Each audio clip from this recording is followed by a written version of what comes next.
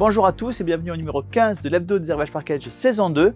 Pas mal de sorties cette semaine, on démarre tout de suite et on démarre avec trois nouveaux jeux dans la collection Loki, donc des jeux pour enfants pour 4, 5 et 7 ans. À partir de 4 ans, il y a Tentacolor dans lesquels vous allez devoir faire les plus longues tentacules possibles pour votre poulpe et surtout terminer votre poulpe avec ces tentacules de couleur. Happy Family, c'est un peu comme un jeu de cette famille, sauf que on va collecter les cartes, non seulement évidemment en les appelant de mémoire dans les mains des adversaires, mais aussi en les collectant sur un tableau qui ressemble un peu à celui de Seven Wonders Duel, c'est-à-dire qu'il va y avoir des cartes qu'on voit, des cartes cachées, et on ne peut prendre une carte que quand elle est libérée des cartes qui sont au-dessus. Et enfin, Farm and Furious, c'est un jeu de course qui se joue à partir de cartes, c'est-à-dire que certaines cartes vous font avancer beaucoup plus vite, mais si plusieurs joueurs les jouent, eh bien ils n'avancent plus. Et inversement, il y a des cartes qui vont être plus sûres ou des cartes qui vont, qui vont vous faire avancer d'autant de cases qu'il y a de, joueurs qui ont joué cette carte. Bref, une course un peu déjantée dans l'univers de la ferme. Tentacolors, Happy Family et Farm and Furious, trois nouveaux jeux pour enfants dans la gamme Loki. Et on continue avec un autre jeu pour enfants à partir de 4 ans lui aussi, c'est la pêche au son. Un jeu un peu éducatif puisque vous allez pouvoir apprendre à vos enfants à reconnaître les rimes et donc le début de l'apprentissage des syllabes. Un jeu en deux temps puisque vous allez d'abord pêcher un son avec une canne à pêche magnétique et puis ensuite une fois que vous avez retourné euh, le poisson que vous venez de pêcher, vous voyez un objet avec un son, à vous de voir s'il va avec ou pas d'autres poissons. C'est tout simple, c'est à partir de 4 ans et jusqu'à 6 ans et demi, c'est la pêche au son. Autre jeu où vous allez pêcher des sons, c'est Soundbox. Là, c'est un jeu pour adultes, un jeu purement d'ambiance. Le principe est très simple. Vous avez un joueur qui va essayer de deviner les sons que les autres joueurs font. Les autres joueurs vont jouer tous leurs sons en simultané, donc il va devoir essayer de pêcher comme ça une espèce de brouhaha, de cacophonie pas possible, les sons qui sont donnés. Évidemment, s'il les trouve, l'équipe avance. S'il se trompe, il doit arrêter de deviner et l'équipe perd des cœurs en fonction du nombre de cases restant à deviner. Au fur et à mesure que la partie avance, elle se complexifie puisqu'on va rajouter de nouveaux et de nouveaux sons à chaque fois. Un jeu coopératif d'ambiance de 4 à 7 joueurs dans une cacophonie incroyable, c'est Soundbox. Et on continue avec un autre jeu d'ambiance, un jeu qui va se jouer par équipe qui s'appelle 0 à 100. Le principe du jeu est assez simple, vous avez une cible, alors au départ c'est 50 et puis elle va évoluer au fil de la partie.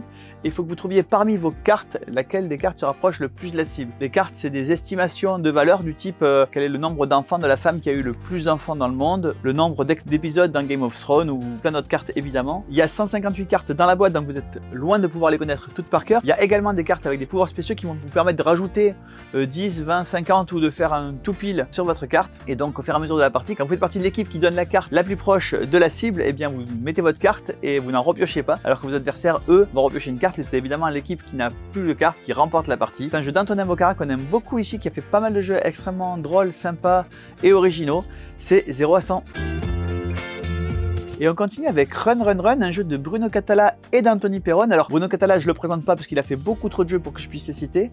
Anthony Perron, lui, a fait pas mal de jeux, et notamment Forms, qui a pas mal marché, et également Dive, un jeu où vous deviez estimer la profondeur des différentes ressources. Ici, dans Run Run Run, c'est un jeu coopératif où vous allez explorer une pyramide égyptienne et vous allez rencontrer à la fois des mécanismes et des momies. Il faut évidemment sortir de la pyramide sans avoir été tué par les uns ou par les autres. Le principe du jeu, c'est que vous allez jouer des cartes qui peuvent servir à la fois de points de vie, c'est-à-dire que quand, un joueur n'a plus de cartes, eh bien, il meurt et tous les joueurs ont perdu la partie. Mais ça peut également servir pour progresser dans le labyrinthe ou également pour combattre les momies. Les momies qui vont d'ailleurs se déplacer euh, au fur et à mesure de la partie euh, dans le labyrinthe grâce au dés. Bref, un jeu coopératif dans le monde de l'Egypte, c'est Run Run Run. Et on continue avec Graal. Dans Graal, vous devez vous débarrasser de vos cartes un peu à la façon du jeu classique traditionnel les kilos de merde. Donc vous devez à la fois vous débarrasser de vos cartes et être rapide puisque quand un joueur euh, se débarrasse de ses cartes, il tape sur la pile et le dernier qui tape perd la manche. Évidemment, c'est rethématisé selon la légende arthurienne avec les différents chevaliers qui font partie de cette légende. C'est Graal. Et on continue avec Creature Comfort. Creature Comfort, c'est un jeu qu'on a reçu à un extrêmement peu d'exemplaires parce que le premier tirage a été complètement épuisé. D'ailleurs, il faut se précipiter dessus si vous en voulez. En tout cas, je sélectionné le second tirage. Dans Creature Comfort, vous êtes donc un animal qui cherche à préparer l'hiver le mieux possible. Donc, vous allez essayer de collecter des éléments qui vont vous permettre d'avoir du confort au moins d'hiver. Donc, vous avez trois saisons pour essayer de remplir des objectifs qui vont vous donner ce confort. C'est un jeu évidemment de collecte de ressources et de poste d'ouvrier avec une thématique animalière extrêmement jolie. Bah, vous voyez la boîte comme moi, c'est très chouette. C'est Creature Comfort. Et on continue avec Level 10. Level 10, c'est un jeu coopératif. Vous allez devoir créer des paysages un peu à la façon des jeux vidéo, puisque vous voyez que la, thématique est clairement une thématique 8 bits de jeu de plateforme. Le principe est que vous allez devoir faire des paysages avec des chiffres croissants, mais que à chaque tour, il faut réinitialiser un niveau. Et vous ne pourrez pendant la partie réinitialiser le même niveau que deux fois. À vous d'être euh, assez stratège pour euh, poser les bonnes cartes au bon moment et aux bons endroits. Sachant également que quand vous réinitialisez un niveau, vous avez le droit de défausser vos cartes et les mettre sous la pioche. Il y a 40 cartes, toutes les cartes vont évidemment revenir, donc posez les bonnes cartes dessous pour qu'elles soient rejouées dans l'ordre. Évidemment, vous n'avez pas le droit de parler avec vos partenaires, sinon ça serait trop facile. C'est level 10. Et on continue avec The Great Wall qui, comme son nom l'indique, vous amène en Chine médiévale. Vous allez jouer le rôle d'un clan qui va défendre la Chine contre les invasions mongoles. Et euh, les invasions mongoles sont gérées dans ce jeu par une AI qui va venir attaquer les joueurs. Donc les joueurs vont devoir euh, coopérer d'une certaine façon pour que les mongols ne gagnent pas la partie. Et donc auquel cas tous les joueurs perdent. Mais en même temps, eh bien c'est un seul joueur qui aura gagné le plus d'honneur qui va remporter la partie. Donc à vous de faire les choix qui vont vous favoriser, mais qui vont évidemment ne pas perturber trop la défense de la Grande Muraille parce que sinon tout le monde a perdu. Évidemment, la de base suffit pour jouer à Great Wall de façon complète et sans souci. Mais il y a également deux boîte complémentaire. Il y en aura même une troisième qui va arriver tout bientôt. Vous avez la boîte de la poudre noire qui donc apporte évidemment la poudre, ce qui va donner à vos adversaires des engins de siège, mais également de nouveaux arbres technologiques pour vous. Et vous avez les stretch goals avec quatre extensions comprises, un cinquième joueur et trois extensions qui contiennent Gengis Khan, une autre avec des, des rats et la troisième avec des chroniques antiques. Et évidemment, comme d'habitude, on va faire un PK Game Pack avec la boîte de base et les deux boîtes d'extension à prix promotionnel. Et on continue avec le jeu qui a fait la sensation à Fija Cannes cette année. C'est Death Note, le jeu d'enquête. C'est un jeu de Maxime Babad qui est euh, visiblement expert des jeux à licence puisqu'il a déjà fait un très bon jeu sur les Chevaliers du Zodiac, puis les extensions Poséidon et Asgard. Ici donc un jeu dans l'univers de Death Note, c'est un jeu à rôle caché. Donc évidemment avec euh, toutes les fourberies qui sont liées à un jeu à rôle caché, mais avec cette originalité que pour une fois, chaque personnage a son propre objectif. Donc que vous soyez un enquêteur ou un Kira, euh, vous allez avoir des objectifs qui vont être différents des autres enquêteurs ou des autres Kira. Vous avez évidemment un enquêteur principal qui va chercher à trouver Light. Évidemment, s'il le trouve pas avant la fin de la manche, il va pas marquer de points sur cette manche. Les autres enquêteurs ont tous des objectifs légèrement différents qui vont bien sûr être euh, d'aider l'enquêteur principal parce qu'au plus ils trouvent des Kira et au plus ils trouvent Light et mieux ça se passe pour eux, mais qui sont parfois un peu différents avec des personnages soit tuer, soit à révéler. Une mécanique avec une carte d'action qui est jouée à chaque tour. Donc évidemment, en fonction des actions qui sont jouées par, par tout un chacun, on va essayer de déterminer quel est leur rôle, mais évidemment une grande partie de bluff là-dedans. Également, une enquête qui va progresser au fur et à mesure des étapes et les joueurs vont pouvoir défausser certaines parties de l'enquête qui ne les arrangent pas. Donc évidemment, si vous défaussez des parties de l'enquête, vous allez être suspecté d'être light. À vous d'être un peu malin pour le faire quand c'est possible et pas à tout bout de chance, sinon vous allez être détecté tout de suite. Une partie se joue en plusieurs manches, ce qui veut dire que vous allez avoir plusieurs rôles dans la partie. Il n'y a pas de personnages qui n'ont pas d'objectifs différents, donc vraiment tous les personnages ont une propre saveur. C'est Death Note, le jeu d'enquête. Et on continue avec une autre licence, Sherlock Collecter les indices. C'est évidemment basé sur le Sherlock de la BBC avec Benedict Cumberbatch et Martin Freeman. C'est un jeu d'enquête, mais ça n'est pas euh, un jeu à scénario, c'est-à-dire qu'il n'y a pas une histoire à découvrir, mais bien voilà des, indices techniques à aller collecter. Le principe, c'est que vous avez une scène au départ avec des endroits que vous pouvez connecter avec des indices et vous allez pouvoir mettre des preuves entre deux cartes. L'objectif, c'est de couvrir votre carte complète de façon directe ou indirecte avec des preuves, donc de faire une espèce de réseau de preuves et d'indices. Quand vous avez réussi à faire votre réseau complet vous marquez des points, vous devez changer évidemment de scène et le principe c'est que celui qui arrive à 9 points euh, laisse encore un tour à tous les autres joueurs pour essayer de le battre et euh, termine la partie. Un jeu évidemment basé sur la série de la BBC, c'est Sherlock collecter des indices.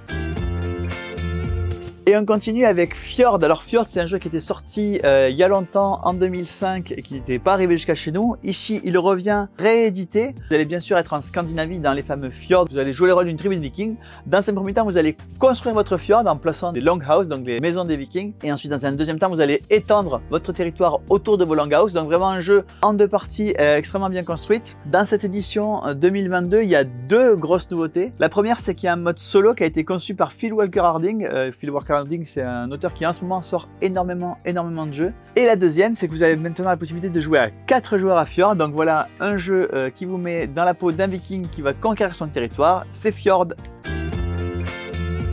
Et on continue avec Libertalia, les vents de Gelcrest. Libertalia, c'est un jeu de Paolo Mori qui est sorti il y a une dizaine d'années, qui a eu euh, un succès assez important et qui revient là en édition anniversaire. Ça veut dire de nouvelles cartes, ça veut dire des jetons plus luxueux, un nouveau système d'influence qui vous permet de tiebreaker, c'est-à-dire de casser les égalités. Ça veut dire également un mode solo euh, vraiment très efficace.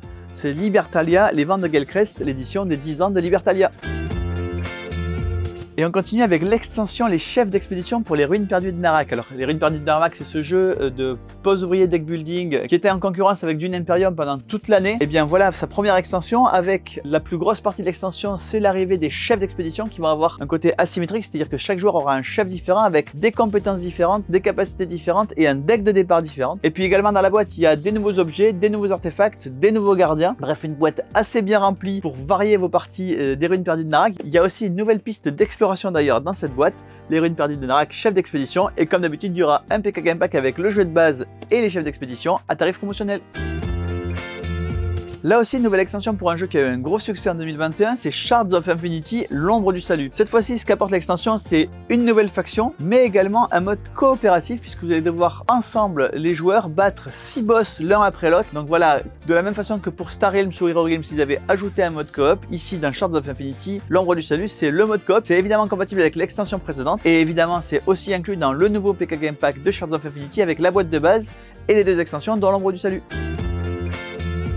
deux nouvelles boîtes pour Super Fantasy Brawl. Super Fantasy Brawl, c'est ce jeu de combat où vous incarnez des héros qui vont venir se battre dans une arène. Et dans chacune de ces boîtes, il va y avoir trois nouveaux héros qui vont pouvoir venir varier vos parties. Donc soit vous prenez les trois héros tels quels, soit vous les mélangez avec les anciennes boîtes. Il y a trois héros de la force de la nature, évidemment qui vont avoir des, pouvoirs liés à la nature et à tout ce qui est lié. Et puis il y a trois nouveaux héros Mental Might, donc des héros qui ont des pouvoirs psioniques, donc des pouvoirs mentaux, parce que les muscles c'est bien gentil, mais le cerveau c'est aussi très important. Super Fantasy Brawl, Force of Nature et Mental Might.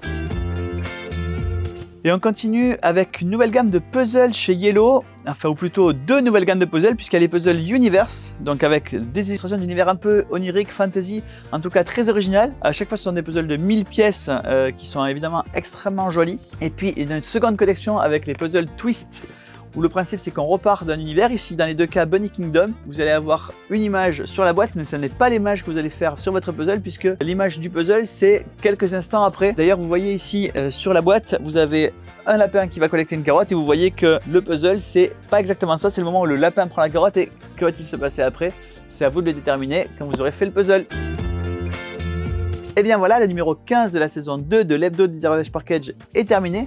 Une petite information pour ceux qui habitent Paris ou pas loin de Paris, on va bientôt organiser à la boutique de Paris un vide-grenier dans lequel vous allez pouvoir vendre vos jeux auxquels vous ne jouez plus.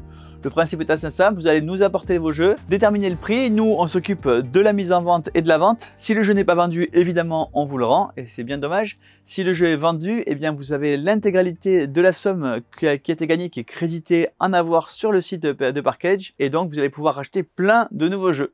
Et moi je vous dis à la semaine prochaine